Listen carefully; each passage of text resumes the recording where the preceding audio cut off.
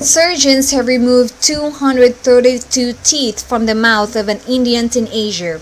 Ashik Gavai was admitted to JJ Hospital in Mumbai last week with swelling in his lower jaw.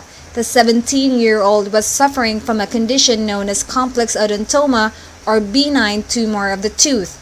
Head of dentistry Sunanda Dhiware Palwankar and her team operated on Monday and it took almost seven hours.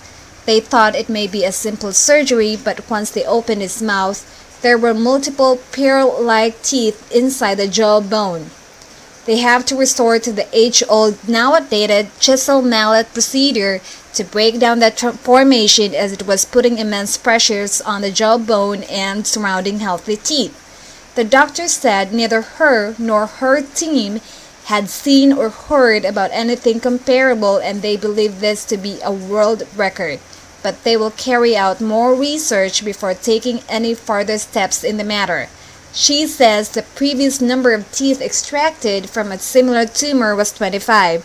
Gavai now has a normal set of 28 teeth and tooth caps will be inserted to replace the removed teeth once he has recovered.